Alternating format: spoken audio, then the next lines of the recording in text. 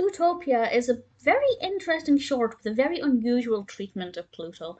This is a 1951 short directed by Charles A. Nichols, and we have a brilliant voice cast, including James MacDonald as Mickey Mouse and the brilliant Pinto Colvig, as always, voicing Pluto. And in this one, Mickey goes on holiday to Camp Utopia. He takes Pluto with him, but realizes when he gets there that dogs need to be muzzled and they need to be kept on a leash at all times. So Pluto has to go outside of the cabin to sleep. And as he drifts off to sleep, he finds himself in his utopia, his Plutopia. Get it? And while he is there, we have some very interesting dream sequences. There's this one, I won't spoil it too much, but we get to meet this cat who we've seen before. Really love the animation style of this cat.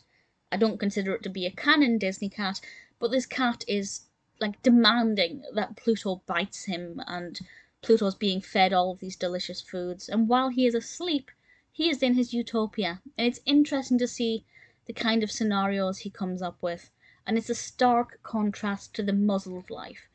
And I I enjoyed that aspect of it. I thought it transitioned from the real world to Pluto's dream world really effectively and back and forth.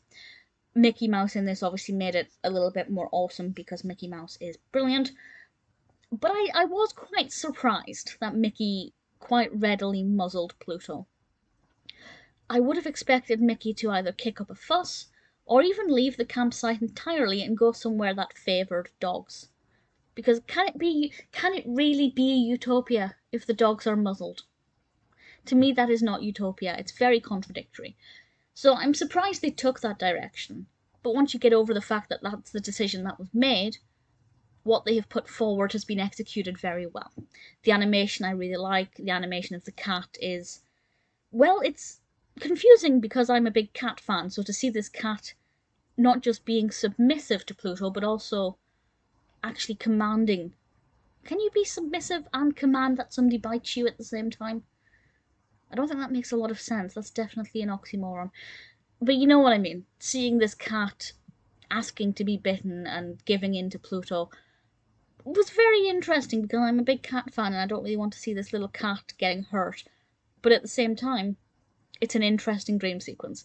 Plutopia is very enjoyable. Uh, not my kind of utopia at all, but definitely I can see what Pluto was thinking and where his head was at. Mickey's actions were not what I would have expected, but the animation style is really pleasing. I love Mickey's outfit. He's definitely dressed for vacation. He's got a little cap on and he's wearing uh, a t-shirt for once and different colored clothing, which is always an interesting thing to see. To see our beloved sensational six in different clothing. I enjoyed it. I enjoyed the forests, oh, the forestry, the trees, the depth. The depth perception is amazing. Absolutely loved it. Very well animated. Really good narrative.